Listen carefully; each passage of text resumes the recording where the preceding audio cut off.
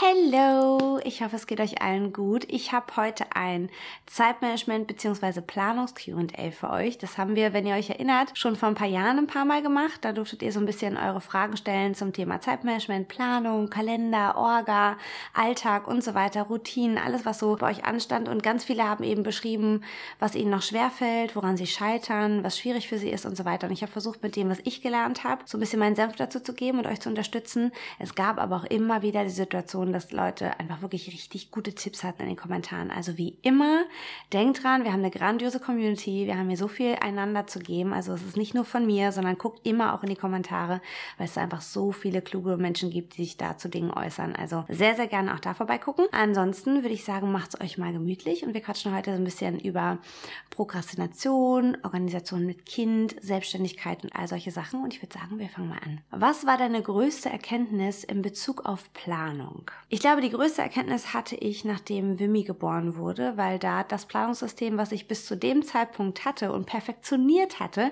einfach mal komplett aus dem Fenster gesprungen ist. Und ich mir so dachte, okay, krass, es funktioniert gar nichts mehr. Und es ist auch völlig normal, wenn man ein Kind kriegt, ändert sich das komplette Leben, der komplette Alltag, man selbst extrem. Und das ist natürlich auch logisch, dass die Planung sich da auch verändert. Und ich dachte ganz lange, dass ich nur einfach wieder ankommen muss und dann kann ich mein altes Planungssystem nehmen und einfach übernehmen und dann ist alles wieder gut. Aber das ist was, was ich wirklich gelernt habe über die letzten Jahre, dass Planung sich verändert im Laufe des Lebens und dass die Dinge, die für einen funktionieren, sich auch verändern können im Laufe des Lebens. Sachen, die früher für mich gar nicht funktioniert haben, sind jetzt meine absoluten Grundlagen und umgekehrt Sachen, die ich früher überhaupt nicht konnte, sind heute meine absoluten Grundlagen und das hat mir so ein bisschen klar gemacht, dass Planung natürlich auch sich mitbewegt mit unserem Leben und nicht einfach irgendwas Abstraktes ist, was jemand uns von außen diktiert, sondern das ist was, was wir selbst gestalten. Ein System, was wir uns selbst erarbeiten, ganz individuell zugeschnitten auf unsere Bedürfnisse, auf unseren Charakter, auf unser Leben.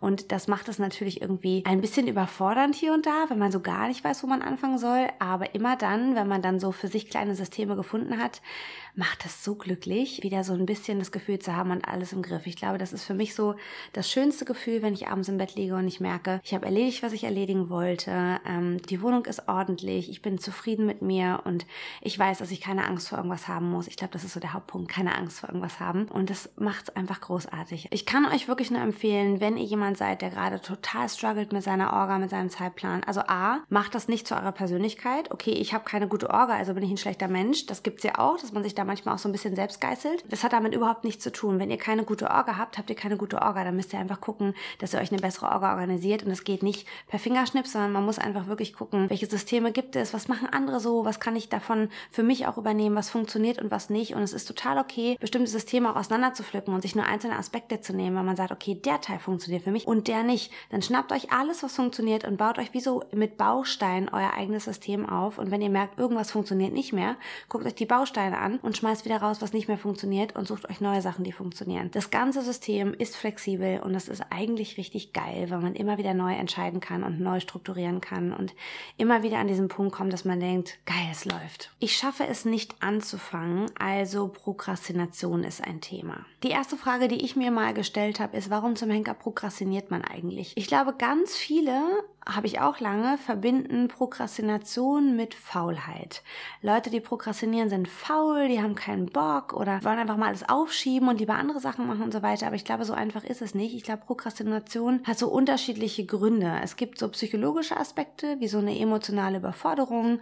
Klar, auch wenn man mental herausgefordert ist, besonders gestresst ist, dann passiert einem das, dass man in so eine Schockstarre kommt und irgendwie gar nichts mehr machen kann. Häufig ist es aber auch eine Angst vor dem Anfang, weil man Angst vor der Aufgabe hat. Das ging mir mit meinen Abschlussarbeiten so, dass ich ganz doll Schiss hatte davor, die nicht gut hinzukriegen oder die zu versauen, dass ich deswegen auch lange, lange die vor mir hergeschoben habe, bis dann der Zeitdruck so groß war, dass ich anfangen musste. Es gibt aber auch andere Sachen, die so zum Prokrastinieren führen. Ich glaube, die häufigste Ursache, klar, ähm, Social Media und so weiter, diese Möglichkeit, schnell sein Belohnungssystem zu aktivieren, indem man diese Reels oder TikToks oder was weiß ich durchscrollt, das macht was mit einem. Ich glaube, das kennt jeder von uns, dass man manchmal so versinkt in diesen Apps und ich finde es auch mal okay, aber manchmal macht man das genau dann, wenn man super viel zu tun hat, weil es einfach den schnelleren Belohnungseffekt gibt. Und ich glaube, das Beste, was man an der Stelle machen kann, ist sich das zum einen bewusst zu machen. Ey, ich scrolle gerade, weil ich einfach eigentlich zu viel zu tun habe und überfordert bin. Und eigentlich sollte mein Weg sein, in diese Überforderung zu gehen, mich dem kurz mal zu stellen und zu sortieren, um dann anfangen zu können und nicht weiter diesen Weg zu gehen, weil das nur alles wieder schlimmer macht. Ich finde es super wichtig, sich klar zu machen, dass man sich an der Stelle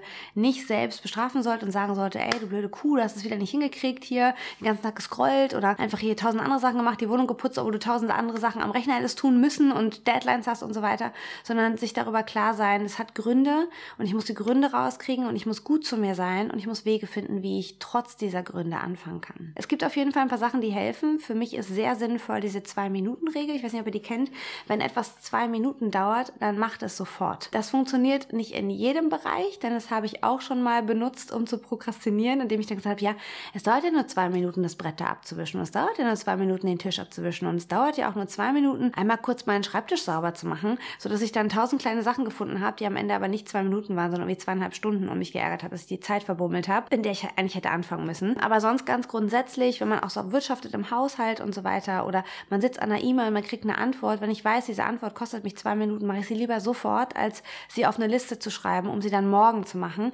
Äh, manchmal ist es wirklich hilfreich, das dann anzuwenden und sich klar zu machen, ey, es geht so schnell, komm, das mache ich jetzt auch noch schnell weg. Und das erleichtert einem so ein bisschen den Alltag und es räumt einem häufig den Rücken frei, sodass man dann weniger gestresst ist und auch weniger prokrastiniert. Die zweite Technik, die ich jedem empfehle, der sagt, ich bin überfordert, ich weiß nicht, wie ich anfangen soll, das ist mir alles zu viel, ist definitiv die Pomodoro-Technik. Auch das kennt ihr schon, wenn ihr auf meinem Kanal eine Weile unterwegs seid. Aber das ist wirklich das Beste, wenn man lange Lernsessions vor sich hat oder wenn man lange an einer Aufgabe arbeiten muss und denkt, Alter, ich muss heute den ganzen Tag am Rechner sitzen und diesen Scheiß machen. Ich habe so keine Lust. Wenn man sich das überlegt, kann ich total verstehen, dass man prokrastiniert. Ihr könnt ja mal überlegen, was sich besser anhört. Ich muss jetzt den ganzen Tag am Rechner sitzen und diesen Quatsch machen von 8 Uhr bis 18 Uhr und ich habe jetzt schon keinen Bock mehr. Oder fühlt es sich besser an zu sagen, ich muss jetzt 25 Minuten das Zeug machen und dann habe ich Pause. Das ist einfach nochmal ein anderes Gefühl und es fühlt sich alles nicht mehr so groß an, sondern eher so in kleine Häppchen geteilt und man kann es dann leichter auch angehen. Auch da nochmal kurz runtergebrochen, Pomodoro-Technik ist eben 25 Minuten arbeiten, 5 Minuten Pause, 25 Minuten arbeiten, 5 Minuten Pause, bis man dann sozusagen das Ganze viermal gemacht hat und dann hat man 30 Minuten Pause. Das klingt immer alles ganz schön viel, aber es hilft total, sich 25 Minuten konzentriert an was ranzusetzen, zu arbeiten und dann 5 Minuten einfach kurz mal den Rechner Rechner sein lassen, an die frische Luft gehen, sich was zu trinken holen, mal aufs Klo gehen und dann wieder ransetzen. Das macht es wirklich machbarer. Also das habe ich benutzt für meine ähm, Lernsessions im Studium, mit meinen sieben Modulen, völlig abstrus, ähm, auch für meine Abschlussarbeiten oder auch für große Abgaben, die ich in den letzten Jahren hatte. Das ist wirklich einfach die beste Technik überhaupt. Wenn ihr abgesehen von großen Projekten Probleme habt anzufangen, kann ich euch auch empfehlen, euch wie so eine kleine Anfangroutine zu machen. Wenn ihr mir schon lange folgt, dann kennt ihr so ein bisschen meinen üblichen Satz, ich mache mir jetzt einen Kaffee und fange an. Für mich ist dieses Kaffee machen wirklich so ein bisschen Signal an mein Hirn, jetzt kommt der Teil, wo wir uns konzentrieren. Und ich hatte ja vor ein paar Jahren so ein bisschen das Problem, dass ich emotional sehr herausgefordert war und deswegen auch da totale Probleme hatte, aus diesem Sumpf an Gedanken rauszukommen. Und was mir da immer, immer hilft, ist Musik. Und es gibt unterschiedliche Playlists auf Spotify, könnt ihr mal vorbeigucken. Unter anderem auch so Konzentrationsmusik. Es gibt auch viele, die schwören auf so Black Noise oder Brown Noise oder White Noise. Ähm, auch da gibt es auf YouTube ganz viele Videos. Einfach mal eingeben, da findet ihr was und probiert mal so unterschiedliche Sachen aus. Ich habe inzwischen so eine Konzentrationsplaylist mit so leichter Pianomusik, die nicht so aufregend ist, die nicht schnell ist, die eher so sanft ist und einen so ein bisschen in den Arm nimmt und über die man vor allem nicht groß nachdenkt. Die bringt eigentlich in eine spezielle Stimmung. Die ist nicht so, dass man irgendwie dann ins Träumen kommt und an irgendwas oder irgendwen denken muss, sondern es ist wirklich eine Musik, die man wunderbar im Hintergrund laufen lassen kann. So brutal das irgendwie auch klingt für die Musiker, aber ihr wisst hoffentlich, was ich meine. Und die mir durch die Songauswahl, die da drin ist. Ich kenne immer den Anfang. Die ersten Songs gehen los und ich denke, ah ja, ist klar. Und es ist wirklich wie der Pavlosche Hund. Mein Hirn hört das, mein Hirn riecht den Kaffee und denkt, ah, ist klar, los geht's. Ihr müsst nicht dieses Ritual machen. Das ist nur das, was für mich funktioniert. Ihr könnt euch was anderes machen. Ihr könnt auch sagen, ey, ich kuschel immer zehn Minuten mit der Katze und dann fange ich an. Auch das kann total helfen. Sucht einfach irgendwas, was euch hilft. Es kann auch sein, dass ihr total produktiv werdet, wenn ihr sagt, ich, bevor ich anfange zu arbeiten, schreibe ich eine halbe Stunde lang Morgenseiten und dann fange ich erst mit der Arbeit an. Dann habe ich den Kopf frei und kann mich darauf konzentrieren. Auch das ist eine super Möglichkeit, um da so ein bisschen das Hirn zu trainieren auf, jetzt geht's gleich los mit der Arbeit. Das ist sehr, sehr, sehr hilfreich. Wenn es doch eine große Aufgabe ist, die euch überfordert, dann kann ich auch an der Stelle immer nur wiederholen, macht die große Aufgabe klein. Es hilft nicht, wenn ihr versucht, mit einer Hand irgendwie einen kompletten Kuchen zu essen. Ihr müsst den schon in Teile schneiden und den so ein bisschen Stück für Stück ähm, euch genehmigen, weil es einfach sonst überfordert. Wenn man sich sagt, ich schreibe heute meine Masterarbeit, ist das so, also A, werde ich es niemals schaffen. Oh mein Gott, ich weiß gar nicht, wo ich anfangen soll. Das ist viel zu viel. Oh mein Gott, das ist nur so ein diffuser Wust, der da auf einen zukommt. Anstatt zu sagen, okay, heute kümmere ich mich erstmal um den Titel und ich kümmere mich um die Literaturrecherche. Was für Bücher kann ich überhaupt lesen, um zu dem Thema mehr zu erfahren? Das ist heute meine Aufgabe. Ich muss keins davon lesen.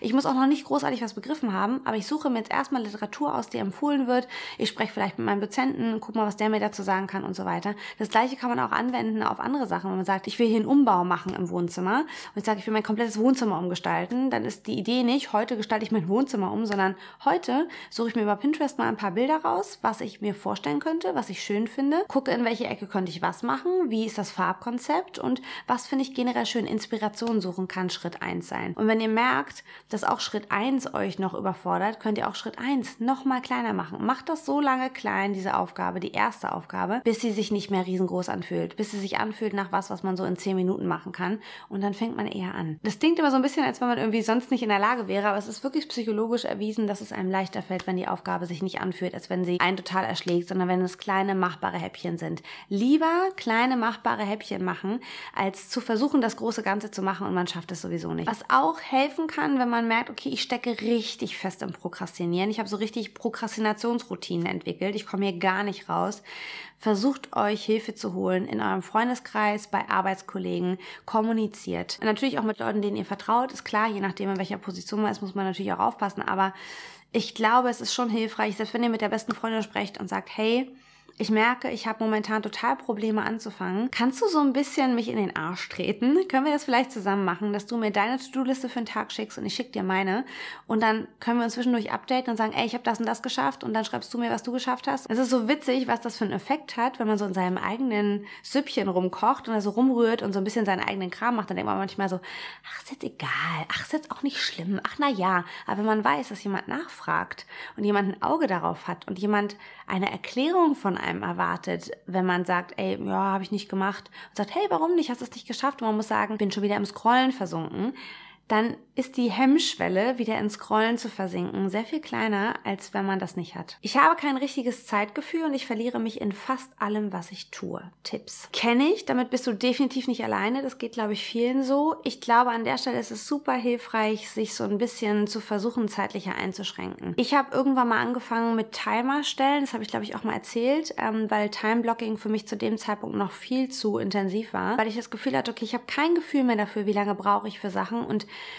es gibt so Aufgaben, die brauchen ihre Zeit und dann gibt es andere Aufgaben, die kann man in zweieinhalb Stunden erledigen oder einer halben, weil man einfach manchmal sich nur kurz konzentrieren muss, das ganz kurz durchziehen muss und sich nicht im Detail verlieren darf. Und es ist einfach schneller gemacht, als wenn man eben genau das tut, so ein bisschen Perfektionismus walten lässt und ah, ich könnte jetzt hier auch nochmal gucken und da auch nochmal so, wenn man die Zeit hat, fein, aber man merkt, ey, ich verschwende super viel Zeit, weil ich irgendwie so lauter Nebenaufgaben noch mache, dann kann es wirklich hilfreich sein, sich einen Timer zu setzen. Wenn man sagt, ganz realistisch betrachtet, soll sollte diese Sache eigentlich eine Stunde dauern, stellt euch einen Timer auf eine Stunde, legt das Handy zur Seite und konzentriert euch diese eine Stunde darauf, diese Aufgabe fertig zu kriegen.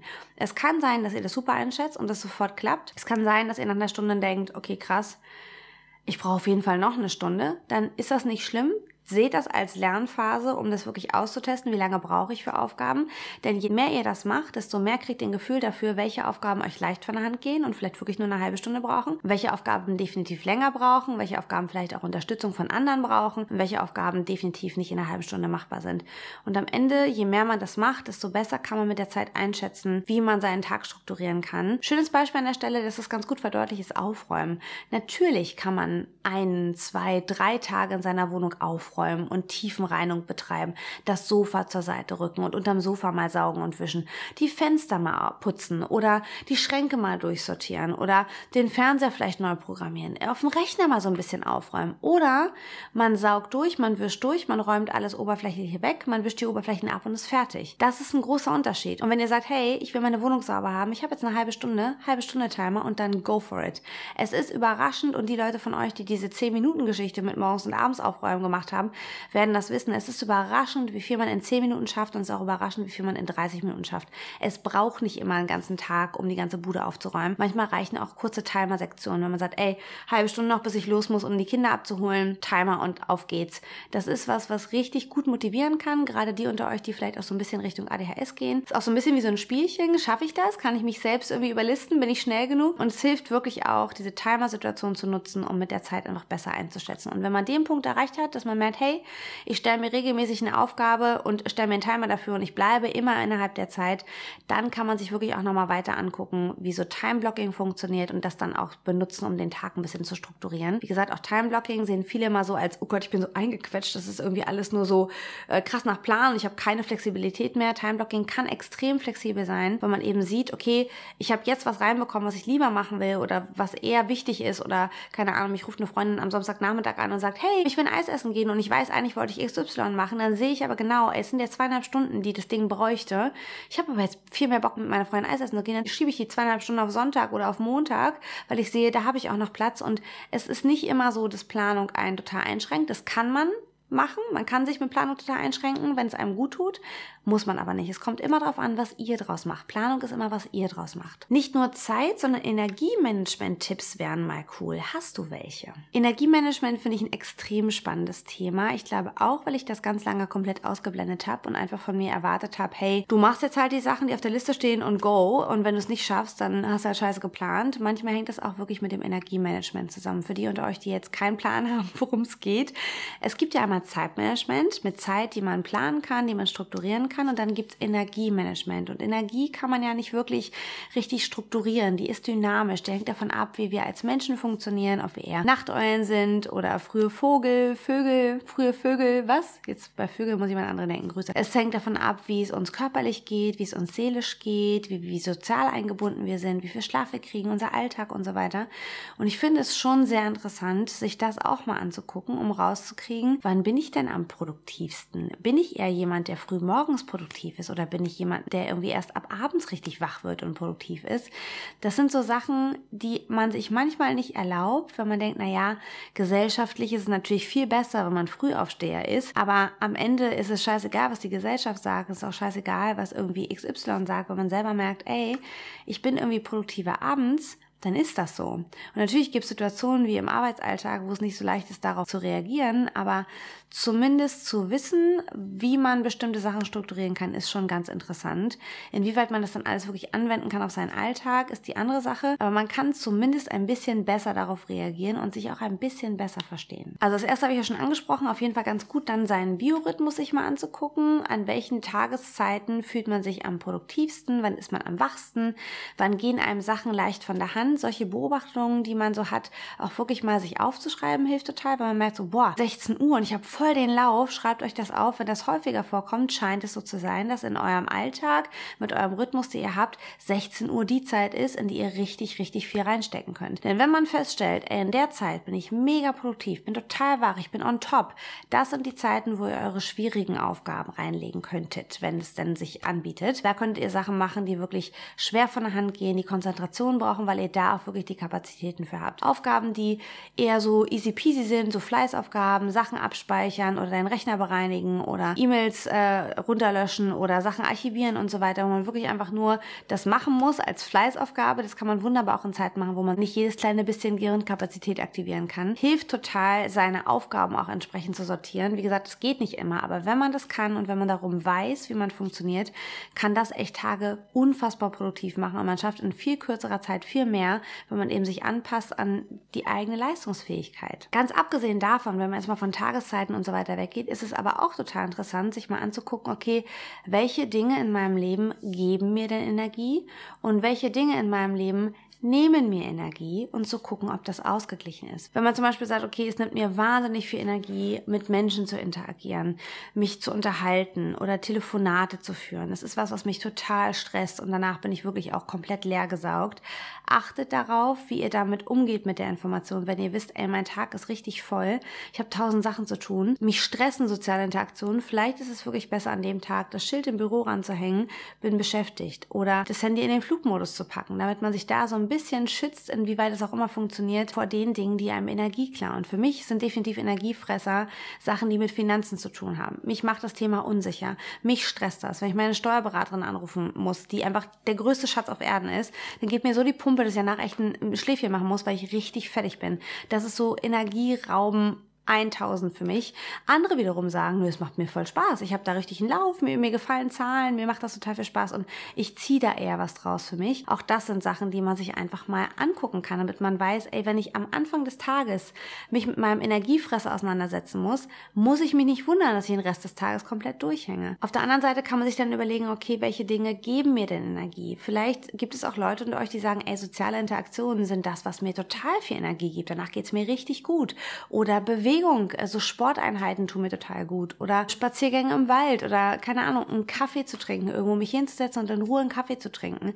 Damit ihr da sozusagen die Energiefressern, die wir alle im Alltag haben, Dinge gegenübersetzen könnt. Wenn ihr merkt, okay, ich habe so einen Punkt erreicht, das war zu viel, dass ihr wisst, wie ihr reagieren kommt. Ich bin jetzt komplett platt, weil ich diese Finanzscheiße machen musste. Ich rufe jetzt erstmal kurz eine Freundin an und quatsch eine halbe Stunde mit der, weil ich weiß, danach geht's mir besser. Dann bin ich wieder so ein bisschen aufgeladener. Es ist so hilfreich, diese Informationen zu haben, weil man man da eben entsprechend auch besser mit sich umgehen kann. Ansonsten kann ich wirklich nur empfehlen, das ist jetzt meine Erkenntnis der letzten Tage, inwieweit ich sie die nächsten Tage auch umsetze, werden wir sehen. Ich meine, ich drehe schon wieder mitten in der Nacht, aber Schlaf ist tatsächlich absolut unterschätzt. Ich habe das auch jetzt so im Austausch mit euch bei Instagram mitgekriegt, ähm, als ich gesagt habe, ey, ich habe neun Stunden geschlafen und ich habe so viel Energie wie noch nie in meinem Leben. Was los? Das unterschätzt man. Man denkt immer, naja, sechs Stunden reichen auch, fünf Stunden reichen auch. Und es gibt einfach Lebensabschnitte, da ist das so. Ein kleines Kind muss man sich nicht wundern, dass man einfach ein Schlafdefizit Defizit hat. Das kann man auch schlecht ändern. Aber es ist trotzdem ganz gut, das sich vor Augen zu führen, wie viel mehr Energie man hat, wenn man ausreichend schläft. Wie viel mehr Energie man hat,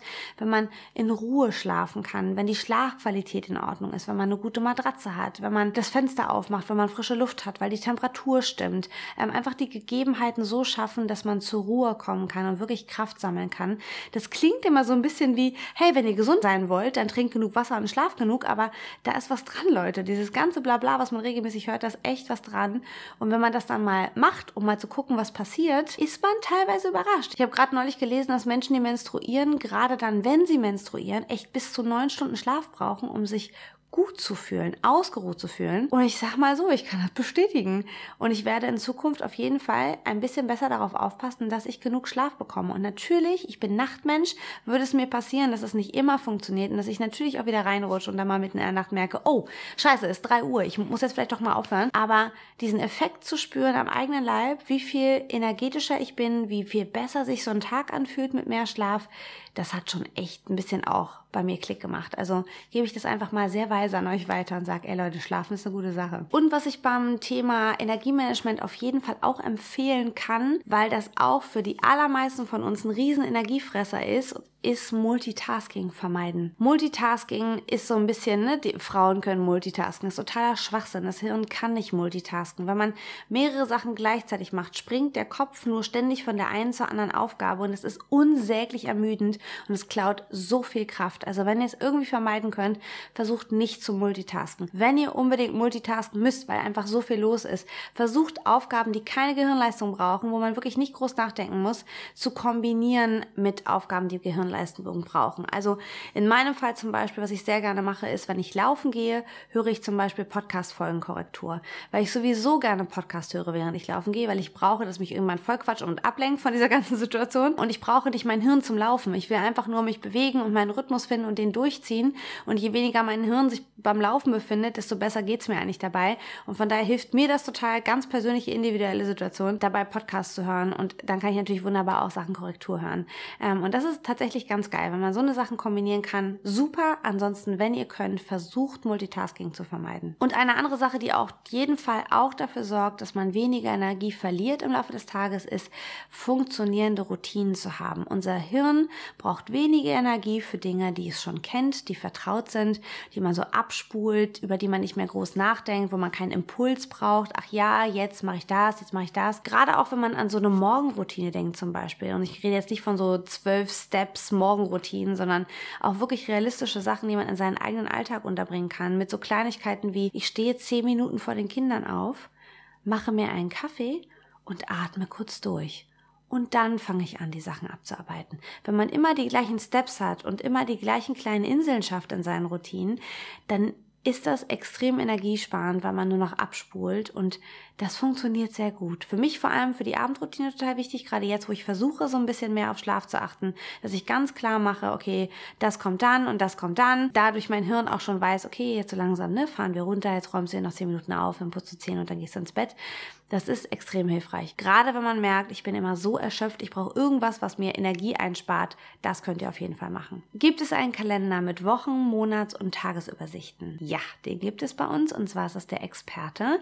Da habt ihr ganz klassisch eine Monatsübersicht drin, ihr habt auch eine Jahresübersicht drin und ihr habt dann für eure tägliche Planung sozusagen einmal eine Wochenübersicht und dann eben auch Tagesübersichten. Also wenn du sowas suchst, weil du sehr viel zu planen hast, auf jeden Fall mal den Experten angucken. Ich verlinke auch gerne nochmal für all die Fragen, die zu dem Thema Kalender kamen, welcher Kalender eigentlich was hat und so weiter, das Video zum Thema Kalender hier. Da erkläre ich jeden einzelnen Kalender, der bei uns im Sortiment ist und erkläre auch die Vorteile der einzelnen Kalender, gebe so kleine Empfehlungen, für wen die vielleicht sinnvoll sein könnten. Und ihr könnt euch wirklich so ein bisschen sozusagen beraten lassen. Also guckt da gerne mal vorbei, wenn euch das interessiert. Zeitmanagement mit Säuglingen, geht das überhaupt? Ich musste ein bisschen schmunzeln bei der Frage, weil es auf jeden Fall eine gewesen wäre, die ich auch so gestellt hätte. Das ist, glaube ich, schwierig, wenn man ein sehr produktiver Mensch ist und dann plötzlich Eltern wird, sich wieder anzupassen an diese neue Situation, zu gucken, okay, wie funktioniert das hier und so weiter.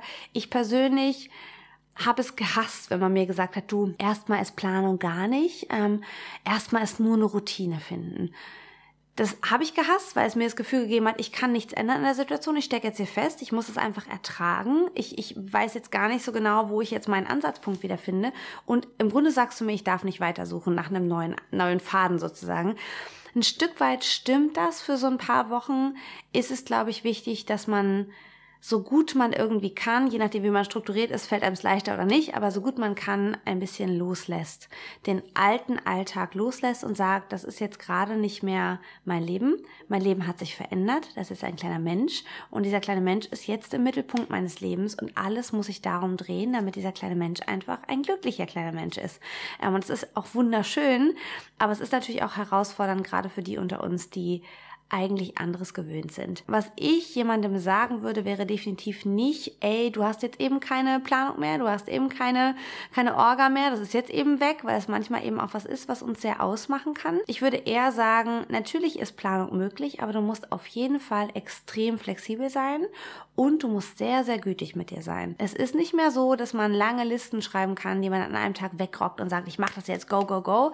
Man hat dann manchmal so die Illusion, dass, naja, das Kind schläft zwei Stunden cool, dann kann ich in den zwei Stunden diese acht Sachen machen und dann schläft das Kind aber nur eine halbe Stunde und hat Bauchweh und dann stehst du da und bist frustriert. Das funktioniert so nicht mehr. Ich würde an der Stelle empfehlen, keine Tages-To-Do-Listen mehr zu machen, sondern vielleicht eher Wochen-To-Do-Listen, dass man sagt, die drei Sachen würde ich diese Woche einfach gerne umsetzen und sich dann eben entsprechend auch darauf konzentrieren, wenn man freie Zeit hat, weil das Kind gerade schläft oder der Partner, die Partnerin da ist oder es vielleicht auch mal Oma und Opa gibt, die aufpassen können, dass man in der Zeit die Zeit nutzen kann. Aber je nachdem, wie lange die Geburt her ist, auf jeden Fall nicht vergessen darf, dass man ein Kind zur Welt gebracht hat und dass der Körper diese krasse Leistung neun Monate gebracht hat und dass es extrem wichtig ist, auch für die Produktivität dann wieder, wenn das Kind ein bisschen größer ist, dass wir gut zu unseren Körpern sind und dass wir uns bedanken dafür, was sie gemacht haben. Und das tun wir, indem wir sie einfach gut behandeln. Genug essen, genug trinken und eben auch mal, wenn das Kind schläft, nicht produktiv sind, sondern schlafen. Weil Schlaf, wie gesagt, habe ich gerade lange ausgeführt, extrem wichtig ist auch für den Kopf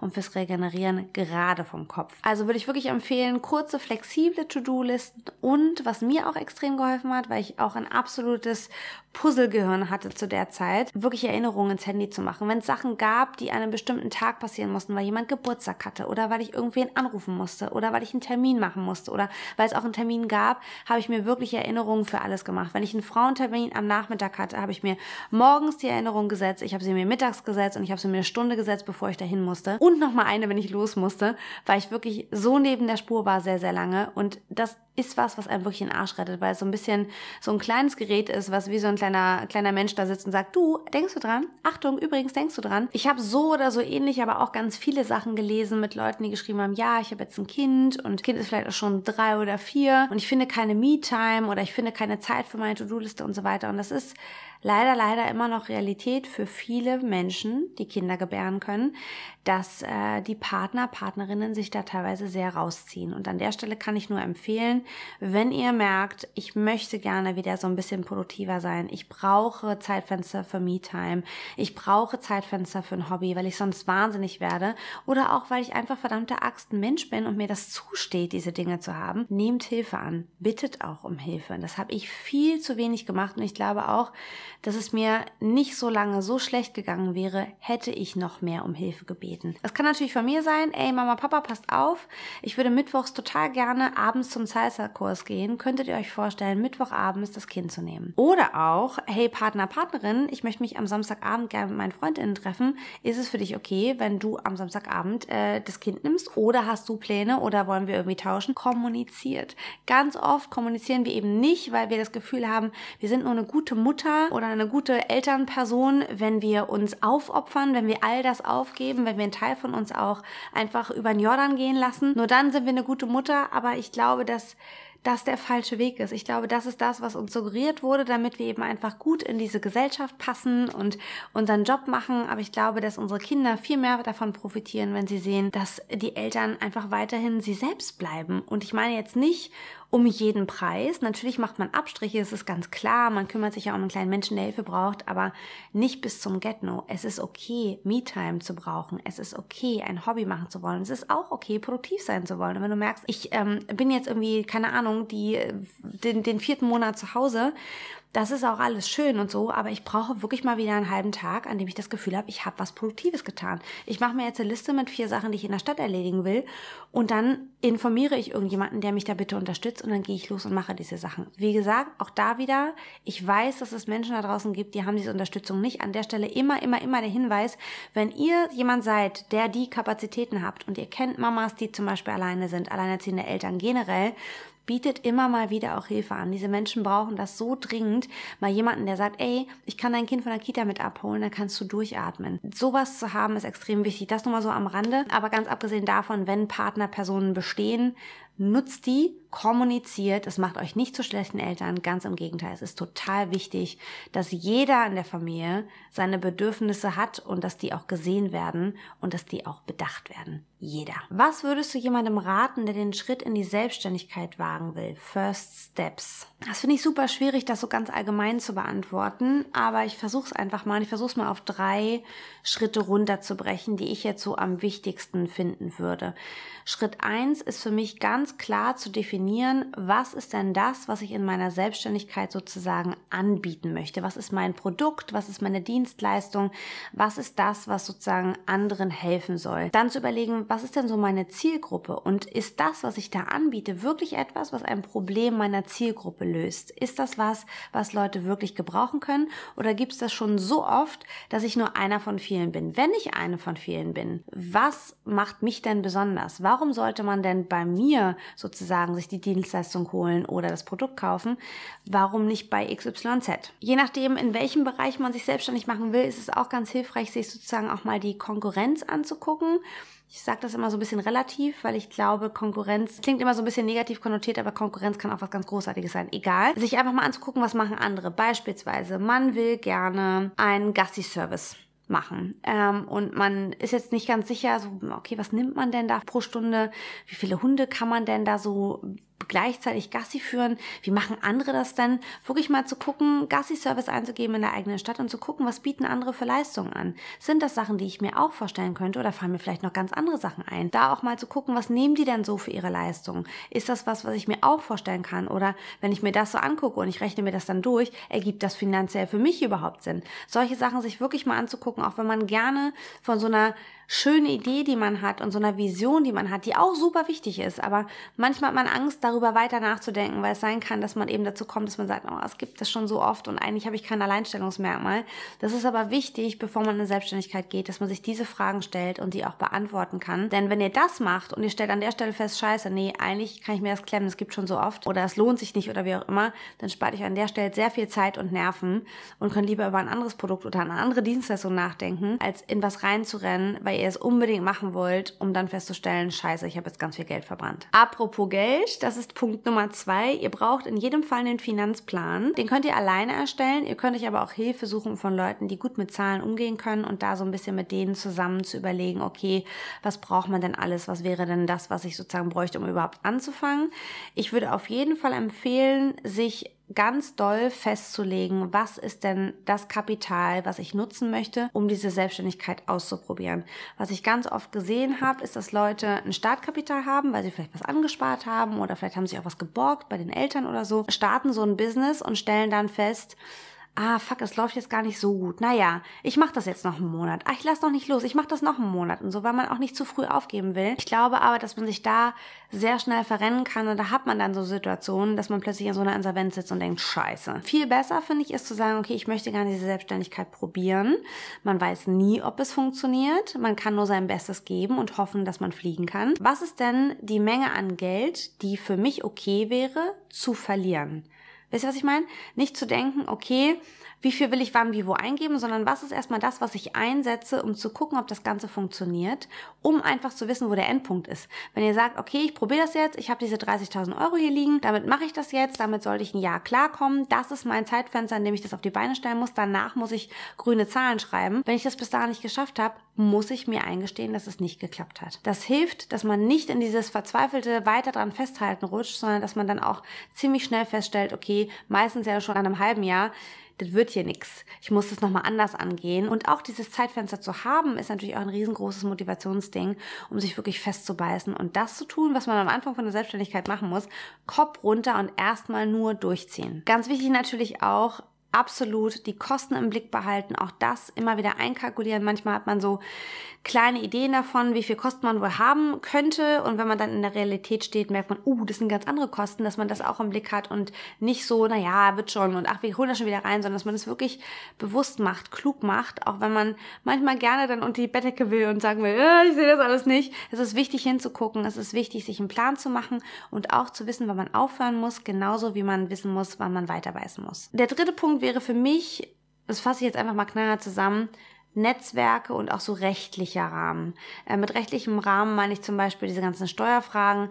Muss ich ein Gewerbe anmelden? Bin ich freiberuflich? Ab wann muss ich irgendwie eine GmbH gründen? Wie macht man das? Brauche ich einen Steuerberater? Würde ich persönlich immer empfehlen, das Geld zu investieren in einen Steuerberater, Steuerberaterin. Das ist ein bisschen wie ein Joker haben, sage ich euch. Sich darüber Gedanken zu machen, wer wäre das, haben die die Expertise für den Bereich, in den ich gehen will und so weiter. Und dann wirklich auch sich ein Netzwerk aufzubauen mit Leuten, die vielleicht in einem ähnlichen Bereich sind, um sich auszutauschen, zu sagen, hey, ich habe da so eine Idee, wie wär's, willst du dir vielleicht mal das angucken, ähm, kann ich dich vielleicht mit irgendwas unterstützen, dass man da lernt, wer sozusagen im gleichen Aquarium mit einem schwimmt. Wer ist da noch so? Wie sind die so drauf? Gibt es Leute, mit denen ich vielleicht klicke? Das habe ich ja auch immer wieder in meinem, äh, in meinem Job jetzt, wenn ich so an diese Influencer-Geschichten denke. Es gibt einfach auch bei den Influencern so viele Leute, mit denen ich total klicke, mit denen dieser Austausch total wertvoll ist, ohne dass man auf Zahlen guckt und sagt, okay, du hast mehr oder weniger als ich, also rede ich nicht mit dir, ich rede mit dir, sondern dass man sich wirklich austauscht, hey, wie ist das gerade bei dir? Und ich struggle gerade damit, dass man sich zusammen hinsetzt und Pläne macht und so weiter. Und das ist schon echt sehr, sehr hilfreich, gerade wenn man startet und gerade so im ersten Jahr noch unsicher ist mit bestimmten Dingen, dass man weiß, man kann Leute fragen, man hat so ein bisschen Möglichkeiten, um sich abzusichern an vielen Stellen und man kriegt vielleicht auch noch den einen oder anderen guten Tipp. Und für mich gehört in den Punkt auch noch so ein bisschen die Marketingstrategie rein. Ihr braucht in jedem Fall Marketing, klar, dass ich das sage, ähm, aber es ist natürlich wichtig, wenn ihr eine gute Leistung habt, ein gutes Produkt zu überlegen, wie kriegen Leute denn mit, dass ihr das habt? Und ich rede jetzt nicht nur von Plakaten und Flyern, sondern wirklich auch zu überlegen, wie kann man denn Leute auf euch aufmerksam machen? Das hängt natürlich immer davon ab, was ihr anbietet oder was ihr machen wollt, aber grundsätzlich ist das was, was man auf gar keinen Fall außer Acht lassen sollte, gerade fürs erste Jahr, dass man da ordentlich die Werbetrommel rührt, ordentlich klar macht, das bin ich, das ist, was ich anbiete und es ist geil, weil, damit Leute wissen, wo ihr zu finden seid. Haushalt organisieren mit Kleinkind, das permanent beschäftigt werden möchte. Ich weiß nicht, ob meine Meinung dazu vielleicht den einen oder anderen etwas irritiert, aber Meiner Erfahrung nach, und das ist ja auch nur meine Erfahrung als Mama mit meinem Kind, ich bin keine Expertin für Mutterschaft, auf keinen Fall, aber für uns war es so, dass für Wimmy es einfach keinen Unterschied gab zwischen Dinge im Haushalt tun. Ich rede jetzt nicht von Kinderarbeit, sondern einfach von Dingen, die ich im Haushalt gemacht habe und Spielen. Für ihn war es total egal, ob wir uns hingesetzt haben und mit Legosteinen was gebaut haben oder ob wir in die Spülmaschine was gebaut haben, weil wir da die Gabeln reingelegt haben oder die Löffel oder die Pfannenwender und so weiter. Und ich habe einfach versucht, so gut ich konnte, ihn einzubinden in den Haushalt, die Waschmaschine aufzumachen und ihn die Sachen in die Waschmaschine reinräumen zu lassen oder auf den Knopf drücken zu lassen. Wenn ich gesaugt habe, dann hat er am Anfang gerne auf dem Staubsauger gesessen, den ich dann mit ihm rumgezogen habe und so weiter. Und das war cool, es hat ihm Spaß gemacht. Das klappt natürlich nicht für alle Aufgaben. Bestimmte Aufgaben muss man einfach auch ohne Kind machen können. Auch an der Stelle wieder bindet die Menschen in eurem Umfeld ein. It takes a village, it really does. Aber ähm, grundsätzlich glaube ich nicht, dass man da so eine harte Grenze ziehen sollte zwischen wir spielen jetzt und das ist deine Qualitätszeit und das ist ähm, mein Haushalt, den muss ich irgendwie irgendwie nebenbei machen. Ich glaube, es hilft Kindern definitiv eingebunden zu sein in das Ganze. Und ich merke das jetzt auch an meinem Kind, dass es für ihn selbstverständlich ist, dass er in seinem Rahmen in ganz kleinen Schritten aber schon seinen kleinen Anteil macht, indem er zum Beispiel seinen Teller alleine wegräumt oder eben, keine Ahnung, mich an so bestimmte Sachen erinnert. Mami, wir müssen noch an den Müll denken. Einfach so Kleinigkeiten. Ich kann es jetzt gar nicht alles so aufzählen. Wir haben auch schon Wäsche zusammengelegt zusammen. Auch das ist total süß und es war auch Qualitätszeit. Also ich persönlich mache da nicht so einen großen Unterschied und für uns war das auch genau richtig. Ist nicht jedes Kind so? Für uns stimmt es aber auf jeden Fall. Wie gehst du mit Ungeplantem um? Zum Beispiel Kind krank. Wie liegen gebliebenes aufholen? Jedes Elternteil kennt genau die Situation. Man hat alles total gut geplant. Die ganze Woche steht, alles supi. Und dann ruft Montag, Mittag die Kita an und sagt, blöd gelaufen, Magen-Darm. Und dann steht man erstmal da und denkt, ja scheiße, und nu? Das ist ein sehr, sehr unangenehmes Gefühl. Gerade wenn man Verantwortung trägt, gerade wenn es Deadlines gibt und so weiter. Ich verstehe das total. Aber das kann eben immer passieren. Das ist normal, dass Kinder krank werden. Und in in dem Fall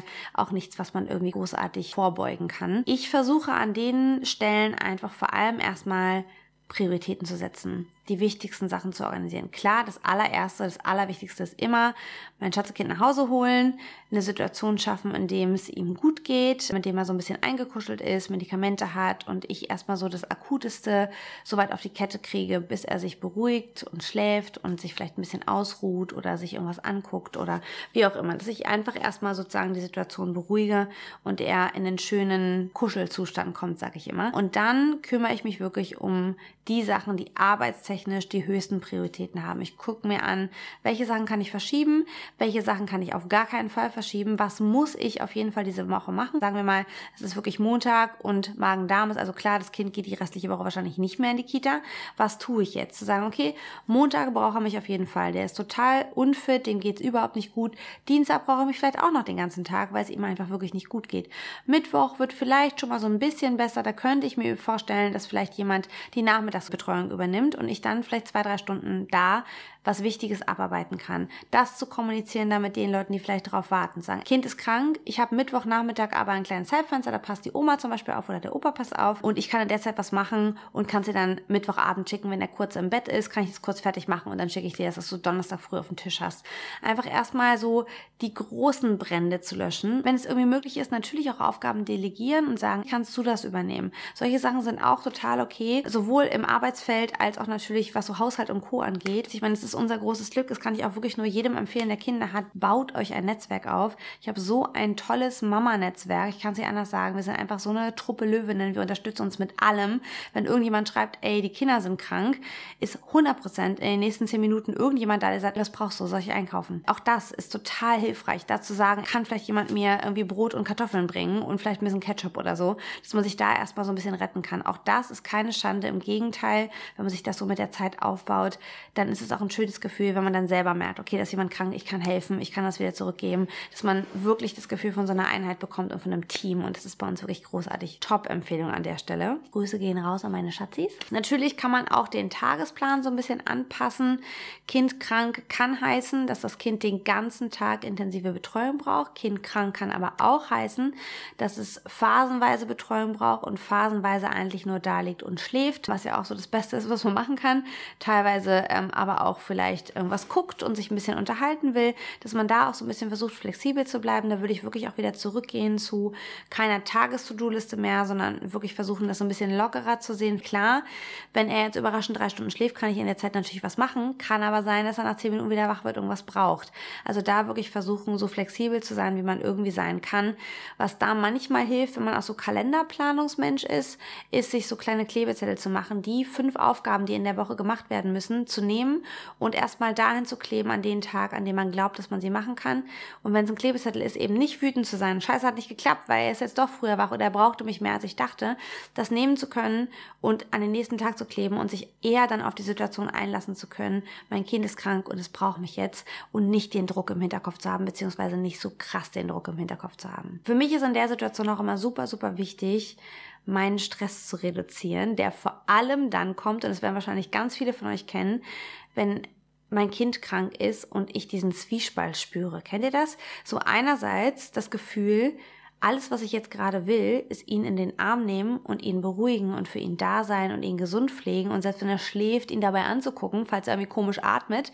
Und ein anderer Teil von mir, der muss aber auch funktionieren. Da gibt es Leute, die warten auf Dinge. Ich spüre den Druck, weil ich auch niemandem irgendwie zur Last fallen will und so weiter. Das ist so schwer auszuhalten. Das macht bei mir immer ganz viel Stress, weshalb ich das inzwischen auch versuche, an allererster Stelle für mich dann zu reduzieren und mich immer wieder daran zu erinnern, die Situation ist, wie sie ist. Ich kann sie nicht ändern. Ich kann natürlich Zeit Möglichkeiten nutzen, die ich jetzt hier bekomme, aber ich kann nicht so leisten, wie ich das normalerweise tun würde, wenn mein Kind nicht krank wäre. Klar, an der Stelle spreche ich jetzt immer aus meiner Perspektive, wenn Partner, Partnerin dabei sind, natürlich die einbinden und besprechen. Ne? Heute mache ich, morgen machst du. Das kann man natürlich auch machen, aber ich rede jetzt eben aus der Perspektive von jemandem, der an der Stelle jetzt erstmal alleine für die Betreuung zuständig ist. Das ist auf jeden Fall was, was mir total hilft, dann so ein bisschen den Druck rauszunehmen und zu sagen, ich operiere nicht am offenen Herzen, ich mache jetzt das, was ich machen kann und alles weitere mache ich dann, wenn ich wieder auf Arbeit bin. Es hat auch definitiv geholfen, ganz offen zu kommunizieren. Auch an der Stelle so mit dem nächsten Arbeitsumfeld, was ich jetzt habe, ganz klar zu kommunizieren und zu sagen, Leute, wenn mein Kind krank ist, ist das für mich extrem schwierig, weil ich natürlich weiterhin leisten will. Es ist ganz wichtig für mich, dass ihr mir den Rücken frei haltet und bestimmte Sachen dann für mich delegiert. Und ich gebe wirklich dann an der Stelle mein Bestes. Ich liege hier nicht und lege die Beine hoch. Ich weiß, dass ihr auf Dinge wartet und was ich tun kann, mache ich.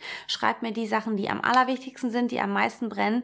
Das kriege ich irgendwie unter, aber bitte, bitte macht mir keinen Druck. Wenn andere vielleicht sagen, sagen, okay, ja, nee, ich bin da auch immer dann sehr, ich lasse mich dann total auf die Situation ein. Ich habe eher das Problem, dass ich dann total Schwierigkeiten habe, überhaupt noch irgendwas Produktives zu machen. Vielleicht wäre es dann für euch dann sinnvoll zu sagen, wenn jetzt mein Kind krank ist, lasst mich mal einen Tag in Ruhe, aber an Tag zwei könnt ihr schon mal sagen, hey, komm, die drei Sachen sind wichtig, dass ich das einfach auf dem Schirm habe. Da muss man eben auch wieder gucken, wie man gestrickt ist und wie man drauf ist. Aber für mich ist es total hilfreich gewesen, dass mein nächstes Arbeitsumfeld darüber weiß und ich dann eher so Nachrichten kriege wie, Ella, ich habe mich darum gekümmert, das musst du nicht mehr machen ruh dich aus, mach das mit Vimi, ihr kriegt das schon. Ich melde mich morgen wieder. Auch da ganz offen kommunizieren, was man braucht, was sinnvoll ist, was man leisten kann, was eben auch einfach nicht geht. Klare Grenzen ziehen, auch im Arbeitsleben. Eine Freundin von mir hat das auch eigentlich ganz geil gelöst. Jetzt hier dem Chef gesagt, pass mal auf, ähm, ich weiß, dass ich eigentlich feste Arbeitszeiten habe, aber ich sage dir jetzt schon, von 9 bis 16 Uhr werde ich nichts tun können, weil mein Kind wach ist und mich braucht, er ist krank. Aber die drei Sachen, die wichtig sind für den Tag, kann ich nach 19 Uhr machen. Mein Mann kommt 18.30 Uhr, fertig, wir machen eine kleine Übergabe, der bringt den kurz ins Bett und dann kann ich mich um die Sachen kümmern. Und ich kann dir die drei Stunden am Tag geben. Das heißt, ich bin zwar nicht auf Arbeit, aber die drei Aufgaben, die du mir gibst, kriege ich auf jeden Fall hin, dann um die abends zu machen. Und das war Bombe. Der Chef war happy, weil er gemerkt hat, okay, sie zieht sich nicht komplett raus. Sie war happy, weil sie auch gerne produktiv sein wollte und wusste, im Team warten Leute auf sie. Und zwar für alle eine gute Situation. Die Situation kannst du genauso nehmen, auf eine andere Person packen und die sagt, um Gottes Willen. Ich, ich hoffe, ihr wisst, was ich meine. Aber man findet eigentlich da auch in solchen Arbeitsverhältnissen, wenn wenn es gut läuft, Lösungen, um das entsprechend zu kommunizieren und da Wege zu finden, was man tun kann in den Situationen. Und das kann ich nur immer wieder empfehlen. Wenn ich dann wieder zurück auf Arbeit bin, weil wenn mir wieder gesund ist oder die Woche neu startet, wie auch immer, dann versuche ich erstmal ganz kurz eine Bestandsaufnahme zu machen. Okay, was ist eigentlich liegen geblieben? Was hat vielleicht wer anders organisiert? Wo brauchen wir jetzt noch irgendwie Input von mir und wo muss ich wieder ansetzen? Und ich mache mir dann wirklich eine Wochen-To-Do-Liste und schreibe mir erstmal auf, was muss diese Woche jetzt also alles abgearbeitet werden. Versuche mich nicht davon stressen stressen zu lassen, dass ich den ersten Tag wieder da bin und alle der Meinung sind, jetzt bin ich aber dran und ich will jetzt eine Antwort. Das sind aber dann irgendwie 30 Leute. Du weißt, du kannst nicht an einem Tag 30 Leute abarbeiten. Dass man da an der Stelle auch eher versucht, sanft einzusteigen und E-Mails zu schreiben von wegen, hey, ähm, ich weiß, du wartest, gib mir einen Moment, ich sortiere mich kurz, ich melde mich bis Mittwoch bei dir, dass die so einen kleinen Zeitrahmen haben und dann Stück für Stück eben die Sachen wieder abarbeiten. Das hilft mir total. Erstmal Bestandsaufnahme, neu sortieren, neu planen und dann wieder neu ansetzen. Ich hoffe, es waren Sachen dabei, die euch inspiriert haben, die euch irgendwie weitergeholfen haben. Wenn es noch andere Sachen gibt, die ihr wisst oder die ihr gelernt habt, die ich jetzt ganz anders gesehen habe, schreibt das sehr, sehr gerne. Das würde mich sehr interessieren. Und ansonsten hoffe ich, ihr habt einen wunderschönen Tag. Passt gut auf euch auf und wir sehen uns im nächsten Video, wenn ihr mögt. Bis dann. Tschüss.